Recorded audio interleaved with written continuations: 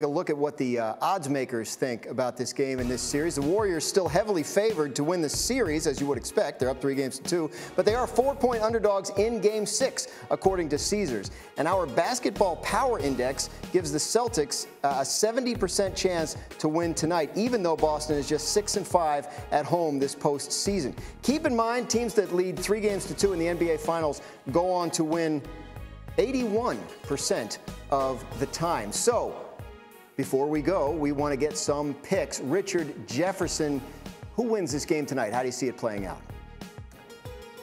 I'm going to say Warriors win the series, but I still think Boston wins tonight. I'm counting on Boston. Vince? I'm going the other side. I'm going to say Golden State to make it a great fight.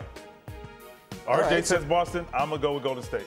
All right, so yeah, I mean, look, we have a situation here where either they're celebrating a historic title uh, here tonight, or they're going back to uh, to San Francisco, excuse me, for a game seven. If that happens, if Boston wins tonight, uh, what's the conversation over the next couple days, Brian, about uh, about Game Seven and what the Warriors need to do to close it out back home?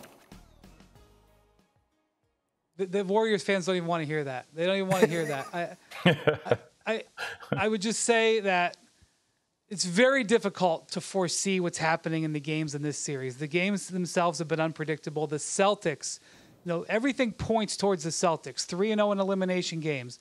The, the, Warriors have not played great uh, in their first closeout opportunities in series this season, being at home. But this is a maddening, maddening team. I've watched them every single game in person for six weeks. They are very, very unpredictable. I could sit here and make a case that they get whitewashed out tonight, and I could sit here and make a case that they're going to win the next two games. Anybody who wants to try to make a prediction on this, I wish them a lot of luck. So, Richard, what do you, I mean, if you're, we've gone over the Celtics issues, turnovers, right? They missed a bunch of free throws in the last game. What's the most important thing for them to do to make sure that they avoid those, those mistakes tonight? Well, I, I, think you just have to. Again, we talk about the Warriors not playing hero ball, being deliberate, understanding all this stuff about Jayson Tatum playing up, uh, you know, two feet instead of one. All of these things go in it. You just have to trust yourself. You have to trust your teammates, and you have to trust your decision making. And lastly, it's about Jayson Tatum in the fourth quarter. It's about Jayson Tatum in the fourth quarter.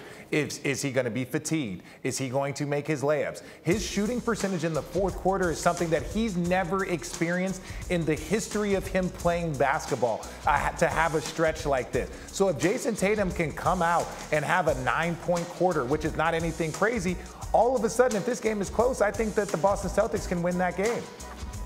Vince, real quick final word. I'm just, I think they, if they can have a better second half in general, I mean, we talked about their struggles in the third quarter. They had a better third quarter, but if they can figure out the second half in general, better start and closing out the fourth quarter, Boston can have a chance. But I still say Golden State Warriors going to pull this off and figure it out. Thank you for watching ESPN on YouTube. For live streaming sports and premium content, subscribe to ESPN Plus.